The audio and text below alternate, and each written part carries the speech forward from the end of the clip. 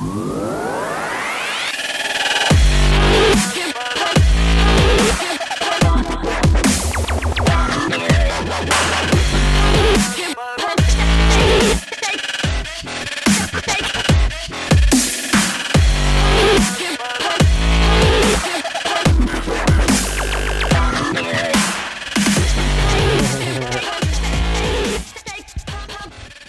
Hi everyone, Steve Bosque here with Kevin DeWeese again and Cameron Burns.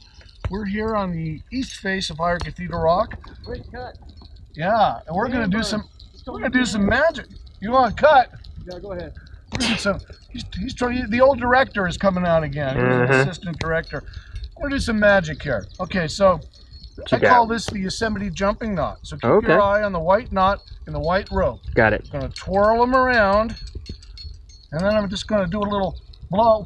Oh, and if if I'm not mistaken, it What? jumps over to the red rope. Now, the way I can do this is this is a slip knot. Watch, you can slip it right off of there. Okay, All right. but uh, being a magician, I can also just pop it right back on. A And what? If I get some Yosemite mountain dust, which is in abundance, my pockets, sprinkle it on there, it jumps. Because it's the Yosemite jumping knot. For the grand What? finale, I slip it down to the end of the rope, give it a little blow, and baby, it blends into the rope. What? Big wall magic. Big wall magic. See you magic. next time.